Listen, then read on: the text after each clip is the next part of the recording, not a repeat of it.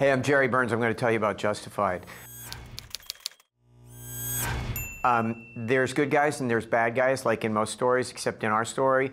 Nobody's good and nobody's bad. A lot of gray areas. So, uh, also a lot of violence, modicum amount of sex, a um, lot of ultra violence too. A lot of blood splatter. A lot of, uh, particularly me, I get a lot of blood on my face.